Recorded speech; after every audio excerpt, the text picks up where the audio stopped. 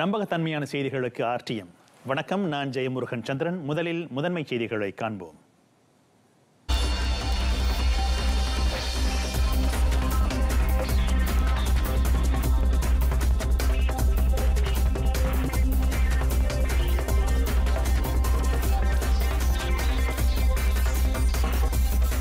நிர்ணயிக்கப்பட்ட நிர்வாக நடைமுறையை பின்பற்ற தவறும் வர்த்தக மனைகள் மூடப்படும்.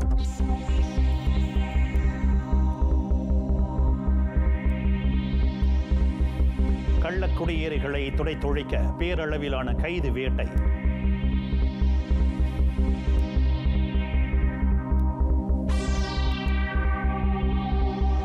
திங்கட்கிழமை தொடங்கி சாலை தடுப்புகள் குறைக்கப்படும்.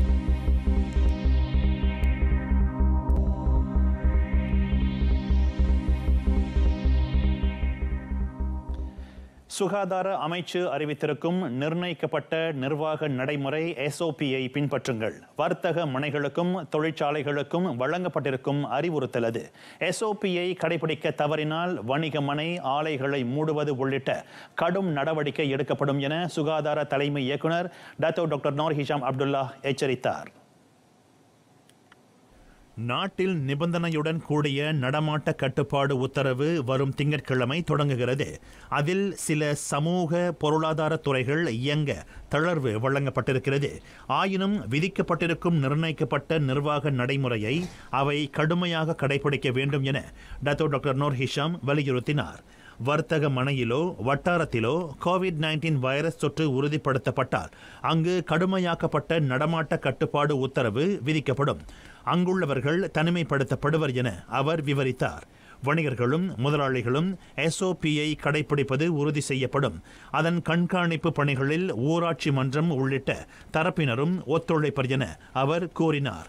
நாட்டில் கோவிட் நைன்டீன் பரவல் உச்ச நிலையை கடந்திருக்கிறது. அந்த தொற்று முன்பு போல தீவிரமாக இல்லை. எனவே எல்லா தரப்புகளும் இணக்கம் தெரிவித்ததன் அடிப்படையில் நிபந்தனையுடன் கூடிய நடமாட்ட கட்டுப்பாடு உத்தரவு பிறப்பிக்கப்பட்டிருக்கிறது. அதேவேளையில் உலக சுகாதார நிறுவனம் டபிள்யூஹெச்ஓ நிர்ணயித்திருக்கும் ஆறு கட்டளைகளை மலேசியா நிறைவேற்றியிருக்கிறது. எல்லை வாயில்களில் கட்டுப்பாடு சுகாதார அமைச்சின் வசதிகளை அதிகரித்தல் ஆகியவையும் அவற்றுள் அடங்கும். அத்துடன் வீட்டை விட்டு வெளியேறும் போதும் பொது இடங்களுக்கு செல்லும் போதும் முகக்கவசம் அணிய பொதுமக்கள் ஊக்குவிக்கப்படுவதாகவும் டத்தோ டாக்டர் நூர் ஹிஷாம் குறிப்பிட்டார். கோவிட் நைன்டீன் வைரஸ் நிலவரம் குறித்து டபிள்யூஹெச்ஓ உலக சுகாதார நிறுவனத்திடமிருந்து பெறும் தகவல்கள் வாயிலாக நாட்டில் அதன் பரவலை சுகாதார அமைச்சு கண்காணித்து வருகிறது.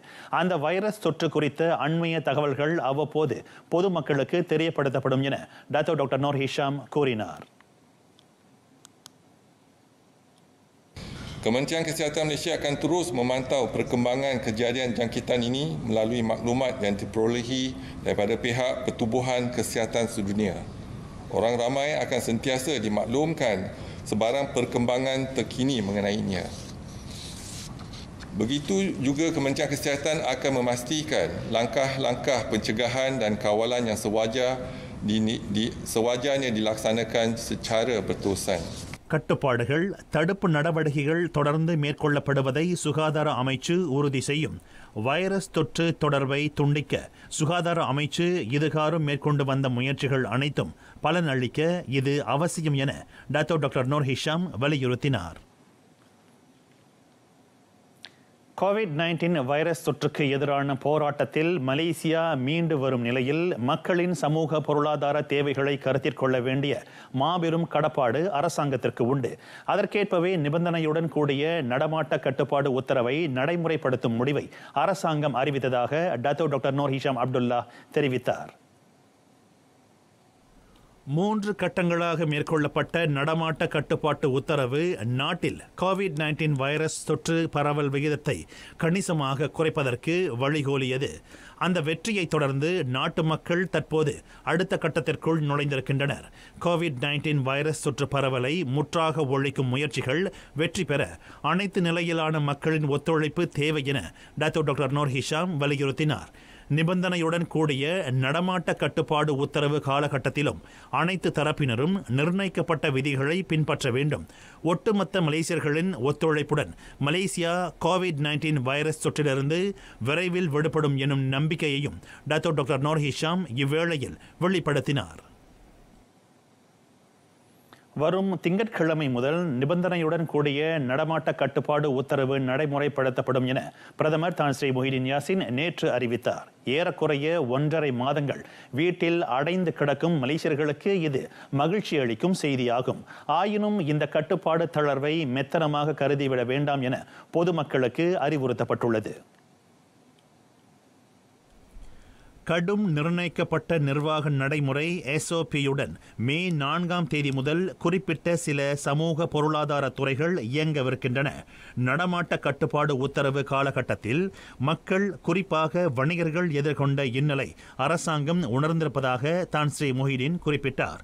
இந்த காலகட்டத்தில் அரசாங்கம் ஒவ்வொரு நாளும் சுமார் இருநூற்று நாற்பது கோடி ரிங்கிட் இழப்பை எதிர்கொண்ட வேளையில் அதன் மொத்த மதிப்பு இதுவரை ஆறாயிரத்து முன்னூறு கோடி ரிங்கிட்டை எட்டியிருக்கிறது. நடமாட்ட கட்டுப்பாடு இன்னும் ஒரு மாதத்துக்கு தொடர்ந்தால் அரசாங்கம் மேலும் முன்னூற்று ஐம்பது கோடி ரிங்கிட் இழப்பை சந்திக்கும். இதனால் நாட்டின் பொருளாதாரம் படு வீழ்ச்சி அடைவதுடன் அது மீள்வதற்கும் நெடுங்காலமாகும். எனவேதான் அரசாங்கம் இந்த நிபந்தனையுடன் கூடிய நடமாட்ட கட்டுப்பாடு உத்தரவை செயல்படுத்தவிருக்கிறது. எல்லோரும் இப்போது வேலைக்கு திரும்ப காத்திருக்கின்றனர். வர்த்தகர்கள் அனைவரும் மீண்டும் தங்கள் வர்த்தக நடவடிக்கையை தொடங்க ஆர்வமாக இருக்கின்றனர். இவ்வேளையில் இந்த தளர்வினால் கோவிட் நைன்டீன் வைரஸ் பரவல் மீண்டும் தலை தூக்கும் என சிலர் அச்சம் தெரிவித்துள்ளனர். பொருளாதார நடவடிக்கைகளில் தளர்வு அளித்திருந்தாலும் சுகாதார தற்காப்பு விவகாரங்களில் அரசாங்கம் இன்னமும் கடுமையான போக்கை கையாள்கிறது. மக்கள் புதிய வகையிலான வாழ்க்கை முறையை கலாச்சாரத்தை வழக்கமாக்கிக் கொள்ள அறிவுறுத்தப்படுகிறது. அரசாங்கம் விதித்திருக்கும் கட்டுப்பாடுகளையும் நிர்ணயிக்கப்பட்ட நிர்வாக நடைமுறைகளையும் சீராக பின்பற்றினால் மட்டுமே நாட்டின் பொருளாதாரத்தை காத்து மக்களின் நல்வாழ்வையும் உறுதி செய்ய முடியும். வரும் திங்கட்கிழமையிலிருந்து அமலுக்கு வரும் நிபந்தனைகளுடன் கூடிய நடமாட்ட கட்டுப்பாடு உத்தரவில் சில தளர்வுகள் வழங்கப்பட்டுள்ளன. ஆனால் பொதுமக்கள் அதனை சாதகமாக பயன்படுத்தி கொண்டு வெளி நடவடிக்கைகளில் அதிகம் ஈடுபடக்கூடாதென தேசிய போலீஸ் படை தலைவர் தான்சி அப்துல் ஹமீத் பாடோர் வலியுறுத்தினார். நாட்டில் இன்னும் கோவிட் நைன்டீன் வைரஸ் பரவலின் தாக்கம் உள்ளதால் பொதுமக்கள் வீட்டிலிருந்து வெளியேறும் முன்னர் யோசித்து செயல்பட வேண்டும். அனுமதிக்கப்பட்ட துறையில் பணிபுரிபவர்கள் தங்களின் பணியிடங்களுக்கு செல்வது தேவையான பொருட்களை வாங்குவது மருத்துவ சிகிச்சை பெறுவது அரசாங்க அனுமதி பெற்ற நடவடிக்கைகளை மேற்கொள்வது போன்ற அவசியமான அலுவலர்களுக்கு மட்டுமே மக்கள் வெளியே செல்ல அனுமதிக்கப்பட்டுள்ளனர். கோவிட் நைன்டீன் வைரஸிலிருந்து நாடு முழுமையாக விடுபட்டுவிட்டதென அரசாங்கம் இத்தளர்வுகளை வழங்கவில்லை. மாறாக நாட்டின் பொருளாதாரத்தை கருத்தில் கொண்டு இம்முடிவுகள் எடுக்கப்பட்டுள்ளன. இந்த சூழ்நிலையை சாதகமாக பயன்படுத்திக் கொண்டு மக்கள் எந்த காரணமும் இன்றி கூட்டமாக வெளியில் சுற்றித் திரியக்கூடாது என தான் ஸ்ரீ அப்துல் ஹமீத் நினைவுறுத்தினார். அரசாங்கம் மிக விரைவில் நடமாட்ட கட்டுப்பாட்டு உத்தரவில் மேலும் சில தளர்வுகளை அறிவிக்கும். பின்னர் மக்கள் பொழுதுபோக்கு கேளிக்கை நடவடிக்கைகளை மேற்கொள்ள வெளியில் செல்லலாம். அதற்கான சரியான தருணத்தை அரசாங்கம் ஆராய்ந்து வருகிறது. ஆகையால் வரும் திங்கட்கிழமை மக்கள் கூட்டம் கூட்டமாக வெளியில் செல்வதால் போக்குவரத்து நெரிசல்கள் ஏற்படக்கூடாது என தான் ஸ்ரீ அப்துல் ஹமீத் படோர் கேட்டுக்கொண்டார். நடமாட்ட கட்டுப்பாட்டு உத்தரவு காலகட்டத்தில் கள்ளக்குடியேறிகளுக்கு எதிரான பேரளவிலான கைது வேட்டையை அரச மலேசிய போலீஸ் படை முடுக்கிவிடவிருக்கிறது குடிநுழைவுத்துறை மலேசிய ஆயுதப்படை சுகாதார அமைச்சு உள்ளிட்ட பல்வேறு அமலாக்க தரப்புகளின் ஒருங்கிணைப்புடன் அந்த அந்த நடவடிக்கை மேற்கொள்ளப்படும் என்று தேசிய போலீஸ் படை தலைவர் தான் ஸ்ரீ அப்துல் ஹமீத் பாடோர் தெரிவித்தார். நாட்டில் கோவிட் நைன்டீன் வைரஸ் பரவலை கட்டுப்படுத்தும் நோக்கில் அந்த நடவடிக்கை மேற்கொள்ளப்படுகிறது. தொற்றுக்குள்ளான கள்ளக்குடியேறிகளை அடையாளம் காண்பது எளிதான பணி அல்ல. பொதுவாகவே அவர்களிடம் முறையான ஆவணங்கள் இருக்காது. தொற்று உள்ள கள்ளக்குடியேறிகள் ஓர் இடத்திலிருந்து வேறு இடத்திற்கு செல்லும் போது கோவிட் நைன்டீன் வைரஸ் தொற்று மேலும் தீவிரமாக பரவும் அபாயம் இருப்பதை தான் ஸ்ரீ அப்துல் ஹமீத் சுட்டிக்காட்டினார். நடமாட்ட கட்டுப்பாட்டு உத்தரவு அமலில் இருக்கும் வரை முறையான ஆவணங்களின்றி இருக்கும் கள்ளக்குடியேறிகள் சுதந்திரமுடன் நடமாடுவதை போலீஸ் அனுமதிக்காது என்று அவர் சூளுரைத்தார். கைது செய்யப்படும் கள்ளக்குடியேறிகள் நிர்ணயிக்கப்பட்ட ஒரே இடத்தில் தடுத்து வைக்கப்படுவர். நடமாட்ட கட்டுப்பாட்டு உத்தரவு ஓய்ந்த பின்னர் அவர்களை தாயகம் அனுப்புவது அல்லது சட்ட நடவடிக்கை எடுப்பது அரசாங்கத்தை பொறுத்தது என தான் ஸ்ரீ அப்துல் ஹமீத் மேலும் கூறினார். நாடு முழுவதும் திங்கட்கிழமை தொடங்கி ஒரு சில பகுதிகளில் சாலை தடுப்புகள் அகற்றப்படும். கூடுதல் கண்காணிப்பு தேவைப்படும் பகுதிகளில் அமலாக்க நடவடிக்கைகள் அதிகரிக்கப்படும் என்று தேசிய போலீஸ் படை தலைவர் தான் ஸ்ரீ அப்துல் ஹமீத் அறிவித்தார். பொதுமக்கள் பாதுகாப்பு இடைவெளியை பின்பற்றுவதை உறுதி செய்வதை தவிர்த்து கடத்தல் நடவடிக்கைகள் கள்ளக்குடியேறிகள் நாட்டுக்குள் ஊடுருவதை தடுக்கும் அமலாக்க நடவடிக்கைகள் மீது போலீஸ் இனி முழு கவனம் செலுத்தும். அரசாங்கத்தின் அண்மைய உத்தரவுக்கு இணங்க நாட்டின் முதன்மை எல்லைப் பகுதிகளில் கள்ளக்குடியேறிகள் நுழையும் ரகசிய பாதைகளில் கண்காணிப்பு சோதனை நடவடிக்கைகள் தீவிரப்படுத்தப்படும் என்று தான் ஸ்ரீ அப்துல் ஹமீத் தெரிவித்தார். இவ்வேளையில் நிபந்தனைகளுடன் கூடிய நடமாட்ட கட்டுப்பாட்டு உத்தரவின் கீழ் பெரும்பாலான பொருளாதார துறைகள் இயங்குவதற்கு அனுமதி வழங்கிய அரசாங்கத்தின் முடிவை அரச மலேசிய போலீஸ் படை வரவேற்பதாகவும் அவர் குறிப்பிட்டார். எனினும் அனைத்து தரப்புகளும் நிர்ணயிக்கப்பட்ட நடைமுறை விதிகளை தொடர்ந்து பின்பற்ற வேண்டும். நிபந்தனையுடன் கூடிய நிர்ணயிக்கப்பட்ட நிர்வாக நடைமுறையை உணவகங்கள் பின்பற்ற வேண்டும். பூப்பந்து டென்னிஸ் சைக்கிளோட்டம் மெதுவோட்டம் போன்ற விளையாட்டு நடவடிக்கைகளில் பத்துக்கும் மேற்பட்டோர் ஒரே சமயத்தில் ஈடுபட அனுமதி இல்லை திங்கட்கிழமை தொடங்கி பொது போக்குவரத்து சேவைகள் அனைத்தும் வழக்கம் போல் இயங்கும். நிபந்தனையுடன் கூடிய நடமாட்ட கட்டுப்பாடு உத்தரவு வரும் திங்கட்கிழமை தொடங்கும் வேளையில் பொதுமக்கள் அலுவலகங்களுக்கு செல்வதற்கு ஏதுவாக அந்நடவடிக்கை எடுக்கப்பட்டிருப்பதாக போக்குவரத்து அமைச்சர் டத்தோசி டாக்டர் வி. காசியோங் தெரிவித்தார்.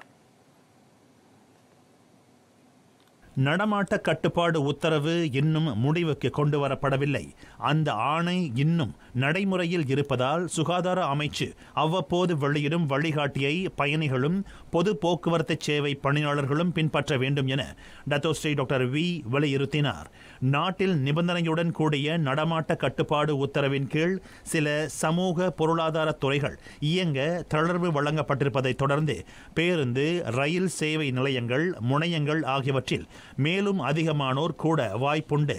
நிர்ணயிக்கப்பட்ட தூர இடைவெளியை உறுதி செய்வது கைகளை அடிக்கடி கழுவுவது கிருமி நாசினி திரவத்தை பயன்படுத்துவது ஆகியவற்றுடன் பொது போக்குவரத்து சேவை முனையங்களில் உள்ள கழிப்பறைகள் இருக்கைகள் பயணிகள் அதிகம் தொடக்கூடிய மேற்பரப்புகள் ஆகியவை அடிக்கடி துப்புரவு செய்யப்பட வேண்டுமென டத்தோஸ்ரீ டாக்டர் வி அறிவுறுத்தினார். முடிந்தவரை ஒரு மீட்டர் இடைவெளியை பேணுவதை பயணிகள் உறுதி செய்ய வேண்டும். பொது போக்குவரத்து சேவை நிர்வாகம் நிர்ணயிக்கும் கூடுதல் பாதுகாப்பு விதிகளை பின்பற்றும்படியும் பயணிகளுக்கு நினைவூட்டப்படுகிறது. கிரான்ஹாஸ் பிரிஹாத்தின் சிறப்பு நிதியுதவி திட்டத்தின் வாயிலாக நாட்டில் உள்ள அனைத்து தொழில் முனைவர்களும் பயனடைவது உறுதி செய்யப்படும். அவ்வகையில் தொடர்புடைய தரப்பினருக்கு உதவ அத்திட்டத்திற்கான விண்ணப்ப முறைகள் எளிதாக்கப்பட்டிருப்பதாக தொழில் முனைவர் கூட்டுறவு மேம்பாட்டு துணை அமைச்சர் டத்தோமாஸ் எர்மியாத்தி சம்சுடின் தெரிவித்தார். கோவிட் நைன்டீன் வைரஸ் தொற்றால் பொருளாதார ரீதியாக பாதிக்கப்பட்டிருக்கும் சிறு நடுத்தர தொழில்துறையினருக்கு உதவும் வகையில் அரசாங்கம் கிரான்ஹாஸ் பிரிஹத்தின் நிதியுதவி திட்டத்தை அறிமுகப்படுத்தியது. தொழில் முனைவர்களின் கருத்துகளுக்கு அரசாங்கம் செவி சாய்க்கிறது.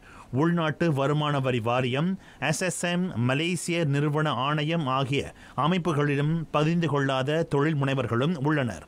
அதனை கருத்திற்கொண்டு விண்ணப்ப முறை எளிதாக்கப்பட்டுள்ளது. ஊராட்சி மன்ற தரப்பிடமும் அந்த நிதியுதவிக்கான விண்ணப்பத்தை சமர்ப்பிக்கலாம் என டத்தோ மாஸ் எர்மியா தி கூறினார்.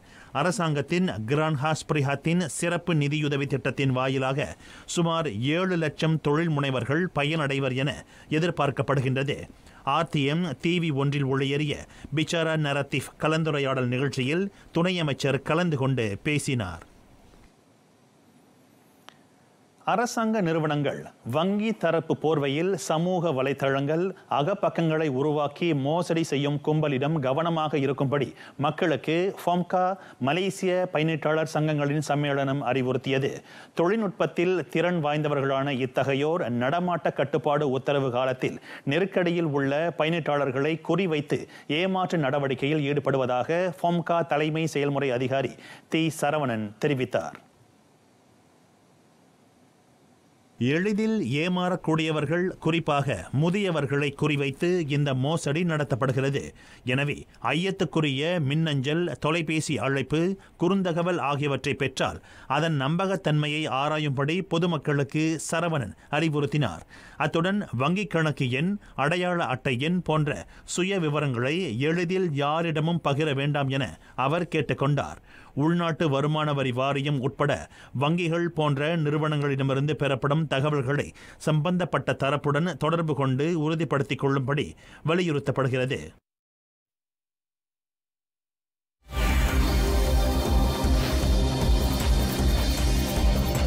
ஆரூடங்களுக்கு முற்றுப்புள்ளி வைத்தார் கிம் ஜாங் உன். பத்தாண்டுகளுக்கு பிறகு அமெரிக்காவிலிருந்து விண்வெளி செல்லும் வீரர்கள் விவரம் உலக நடப்புகளில்.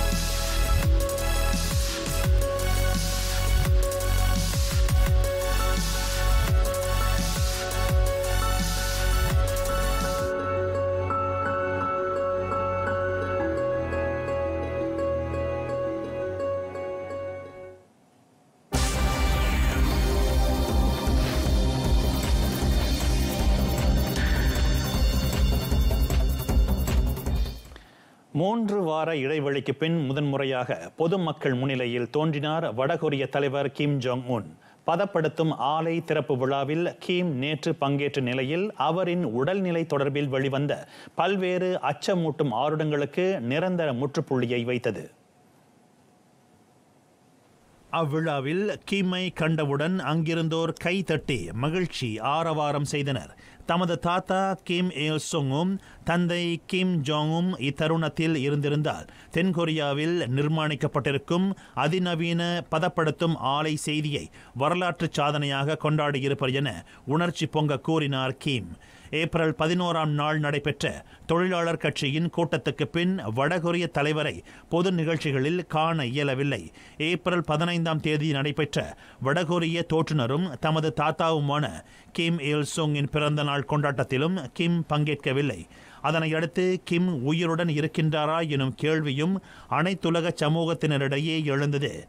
இவ்வேளையில் கிம் கடும் நோயுறவில்லை இறக்கவும் இல்லை உயிருடனும் நலமுடனும் இருப்பதாக தென்கொரிய அதிபர் மூன் ஜே இன் மூத்த ஆலோசகர் முன் சுங் இன் சில தினங்களுக்கு முன் அறிவித்திருந்தார். ஏப்ரல் பதிமூன்று முதல் கிம் கிழக்கு வடகொரியாவில் உள்ள வான்சான் நகரில் தங்கியிருந்ததாகவும் ஐயம் தரும் வகையிலான நடமாட்டமும் கண்டறியப்படவில்லை என்றும் சுங் இன் ஊடகங்களிடம் தெரிவித்திருந்தார். இந்தியாவில் ஊரடங்கு மேலும் இரு வாரங்களுக்கு நீட்டிக்கப்பட்டிருக்கிறது. ஆயினும் வரும் திங்கட்கிழமையில் இருந்து முக்கிய சில பொருளாதார துறைகள் செயல்படுவதற்கு அனுமதி அளிக்கப்பட்டிருக்கிறது. ஆசியாவின் மூன்றாம் பெரிய பொருளாதாரமான இந்தியாவில் மார்ச் இருபத்தைந்தாம் தேதி தொடங்கி நாளை வரை இரண்டாம் கட்ட ஊரடங்கு விதிக்கப்பட்டிருக்கிறது. இருப்பினும் அந்நாட்டில் பெரும்பாலான மக்கள் அன்றாட சம்பள தொழிலாளர்கள் என்பதாலும் முக்கிய துறைகளில் அவர்கள் வேலை செய்வதாலும் அது சார்ந்த தொழில்துறைகள் இயங்க தளர்வு வழங்கப்பட்டிருக்கிறது. குறிப்பாக அடிப்படை தொழில்கள் வேளாண்மை ஆகிய துறைகள் செயல்படும். மூன்றாம் கட்ட ஊரடங்கிலும் விமான ரயில் போக்குவரத்து முடக்கப்பட்டிருக்கிறது. இன்றியமையா பொருள்களை ஏற்றிச் செல்லும் சரக்கு போக்குவரத்து மட்டுமே அனுமதிக்கப்பட்டிருக்கிறது. இந்தியாவில் கோவிட் நைன்டீன் வைரஸ் தொற்றுக்கு இலக்கானோர் எண்ணிக்கை நேற்றுடன் முப்பத்தைந்தாயிரத்தை கடந்தது. ஆயிரத்து நூற்று ஐம்பத்தி இரண்டு பேர் அதற்கு பலியானார்கள். நூற்று முப்பது கோடி மக்கள் தொகை கொண்ட இந்திய துணைக்கண்டத்தில் பெரும்பாலான நகரங்களில் மக்கள் நெரிசலும் அதிகம். எனவே அங்கு தனி மனித இடைவெளியை கடைபிடிப்பது அரிதாக இருப்பதாக வல்லுநர்கள் கருத்துரைத்தனர். தொற்றில் இருந்து முழுமையாக விடுபட்ட பச்சை மண்டலங்களில் தேசிய நிலையிலான நிபந்தனைகளை தவிர்த்து ஏனைய நடவடிக்கைகளுக்கு அனுமதி வழங்கப்பட்டிருக்கிறது. அங்கு பேருந்துகள் ஐம்பது விழுக்காட்டு பயணிகளும் பயணிக்க அனுமதிக்கப்பட்டிருக்கிறது. டாக்ஸி வாடகை கார்களும் குறைந்த பயணிகளுடன் செல்லலாம். குறைந்த பாதிப்பு உள்ள ஆரஞ்சு மண்டலங்களில் சில தளர்வுகள் அளிக்கப்பட்டிருக்கின்றன. ஆனால் கடும் பாதிப்புக்குள்ளான சிவப்பு மண்டலங்களில் ஊரடங்கு கடுமையாக்கப்பட்டிருக்கிறது.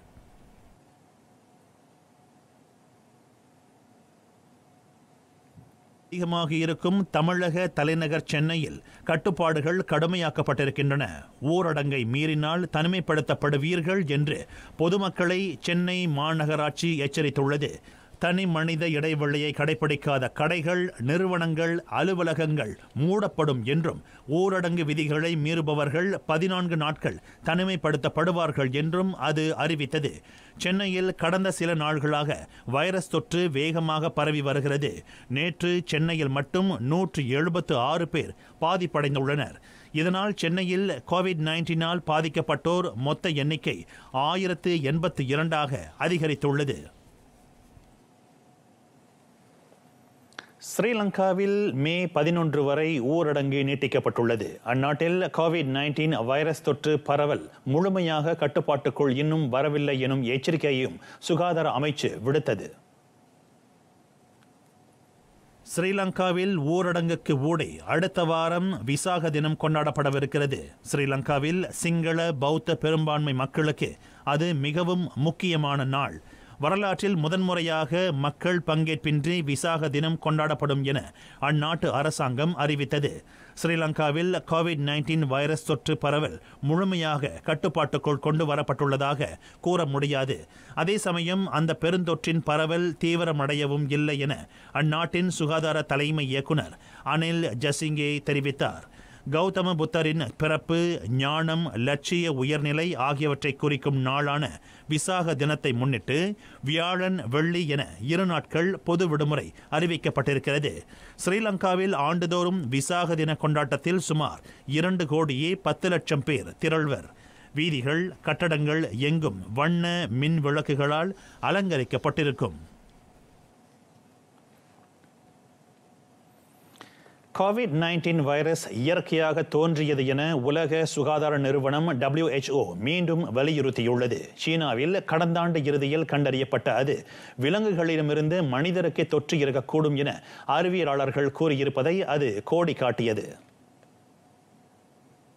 கோவிட் நைன்டீன் வைரஸ் சீனா வூஹானில் உள்ள ஆய்வுக்கூடத்தில் உருவாக்கப்பட்டது என்றும் அதற்கான சான்றுகளை தாம் கண்டதாகவும் அமெரிக்க அதிபர் டொனால்ட் ட்ரம்ப் கூறி வருகிறார். ஆயினும் அந்த சான்றுகளை வெளியிடவும் மேல் விவரங்களை கூறவும் அவர் மறுத்து வருகிறார். ட்ரம்புக்கு பதிலளித்திருக்கும் உலக சுகாதார நிறுவனத்தின் அவசர சேவை பிரிவு தலைவர் Michael Ryan covid nineteen virus இயற்கையாக தோன்றியது என வலியுறுத்தி கூறினார். இந்த கருத்தை உலக சுகாதார நிறுவனம் தொடக்கத்தில் இருந்தே கூறி வருகிறது என்றும் இதில் மாற்று கருத்து இல்லை. வூஹானில் அரிய வன விலங்குகளை இறைச்சிக்காக விற்கும் சந்தையில் இருந்து கோவிட் நைன்டீன் வைரஸ் தொற்று இருக்கக்கூடும் என கருதப்படுகிறது. அது பற்றிய சீனாவின் ஆய்வில் பங்கேற்க உலக சுகாதார நிறுவனத்துக்கு அழைப்பு விடுக்கப்பட்டிருப்பதாகவும் ராயன் தெரிவித்தார். இந்த ஆய்வின் வழி உலகில் வேறு பாகங்களிலும் விலங்கில் இருந்து மனிதருக்கு வைரஸ் தொற்றுவதை தடுக்க இயலும். இந்நிலையில் கோவிட் நைன்டீன் விவகாரத்தில் உலக சுகாதார நிறுவனத்தை டொனால்ட் ட்ரம்ப் தொடர்ந்து குறை கூறி வருவதை அதன் தலைமை செயலாளர் தெட்ரஸ் அடனம் கேப்ரியசஸ் மீண்டும் கண்டித்தார். அமெரிக்க மண்ணிலிருந்து சுமார் பத்தாண்டுகளுக்கு பிறகு முதன்முறையாக மனிதர்களை விண்ணுக்கு அனுப்பும் வரலாற்று பூர்வ திட்டம் திட்டமிட்டபடி மேற்கொள்ளப்படும். கோவிட் நைன்டீன் வைரஸ் மறுட்டலுக்கு ஊடே அத்திட்டம் தொடரப்படும் என்று நாசாவும் ஸ்பேஸ் எக்ஸ் தனியார் விண்வெளி ஆய்வு நிறுவனமும் அறிவித்திருக்கின்றன. விண்வெளியில் பூமியை சுற்றி வரும் அனைத்துலக விண்வெளி நிலையத்திற்கு இரு வீரர்களை அனுப்பும் திட்டம் இம்மாதம் இருபத்தி ஏழாம் தேதி மேற்கொள்ளப்படும் என்று நாசா அறிவித்தது. புளோரிடா கேப் கெனவரலில் உள்ள கெனடி விண்கலம் ஏவுதளத்தில் இருந்து ராபர்ட் பென்கன் டக்ளஸ் ஹலே ஆகிய இரு பரவழி வீரர்களை ஏற்றிச் செல்லும் ஸ்பேஸ் எக்ஸ் க்ரூ டிராகன் விண்கலமும் ராக்கெட்டும் விண்ணுக்கு பாய்ச்சப்படும்.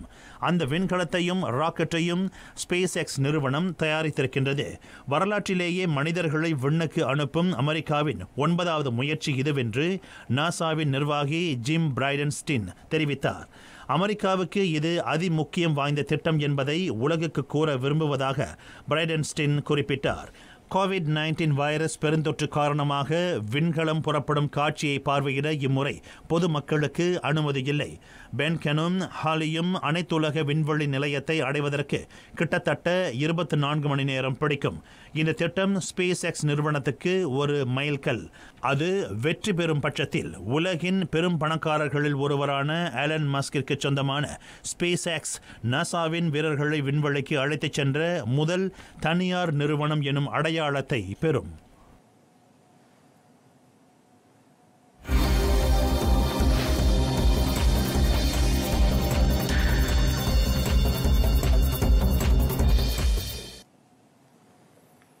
இருபத்தொன்பதாவது சுல்தான் அஸ்லான் ஷா ஹாக்கி கிண்ண போட்டி ரத்து செய்யப்பட்டது. பேரா ஆட்சியாளர் சுல்தான் நஸ்ரின் மொய்சுடீன் ஷா அம்முடிவுக்கு ஒப்புதல் வழங்கியதாக அப்போட்டியின் ஏற்பாட்டுக் குழு ஓர் அறிக்கையின் வாயிலாக கூறியது. கோவிட் நைன்டீன் வைரஸ் தொற்று பரவலின் எதிரொலியால் சுல்தான் அஸ்லான் ஷா ஹாக்கி கிண்ண போட்டிக்கான ஏற்பாடுகளை செய்வதில் சிக்கல் உள்ளது.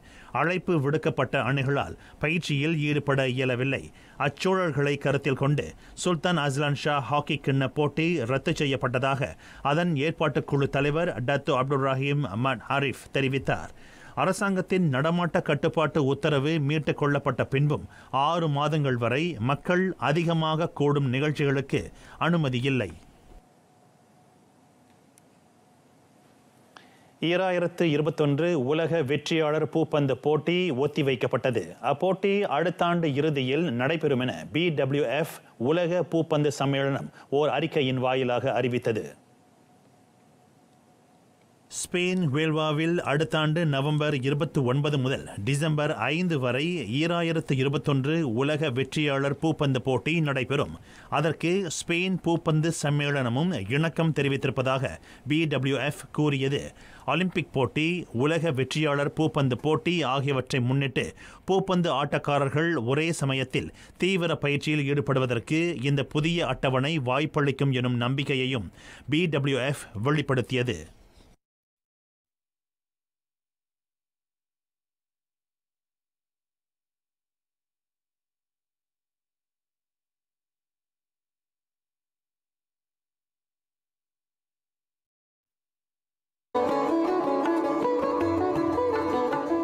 நமது வாழ்க்கைக்கு உதவும் அன்னை திரேசாவின் அன்பு மொழிகள். அன்புதான் உன் பலவீனம் என்றால் இந்த உலகின் மிகச்சிறந்த பலசாலி நீதான்.